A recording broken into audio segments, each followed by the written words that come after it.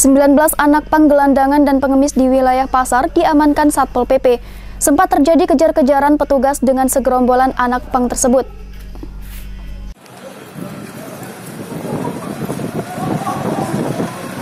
Sana, sana, sana. Jangan lari-lari kau. Itu, Pak. Jangan lari. Bang, aja bang. Ya kau diam di situ. Amin, amin bang. Dari sini, Pak, sini, Pak. Amin, Cepat angkat ya. Kau jangan lari kau,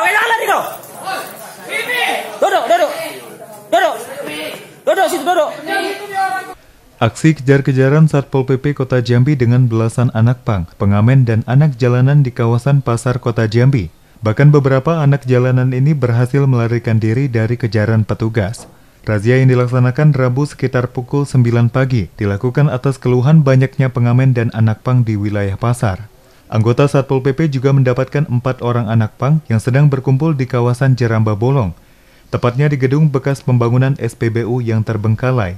Dari razia ini petugas berhasil mengamankan 19 anak pang yang terdiri dari 15 pria dan 4 orang wanita.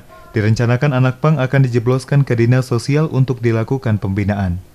Masih hari ini kami menyikapi laporan dari uh, anggota Polri, teman kita, rekan kita di uh, Bank 9. Uh, terus kami juga menindaklanjuti di samping menindaklanjuti laporan dari uh, masyarakat dan kami juga menjalankan rutinitas patroli kami.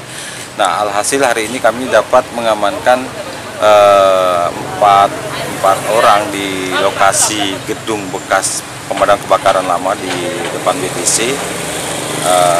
Yang notabene tadi paginya ada tawuran antara Anjal dengan anak Pang.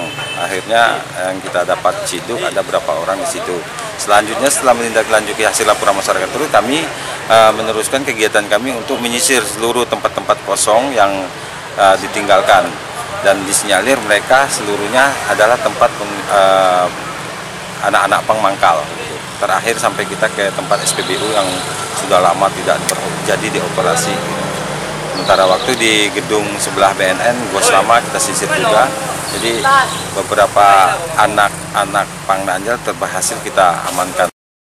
Asar Patahangi, JIK TV melaporkan.